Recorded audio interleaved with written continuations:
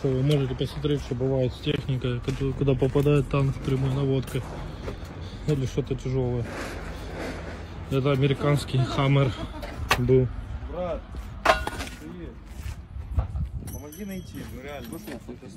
Я могу дать интервью. Сейчас, Пиздец ты, конечно. а охуел. сейчас подожди.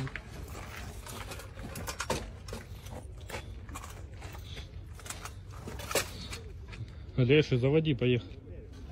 フフフフ。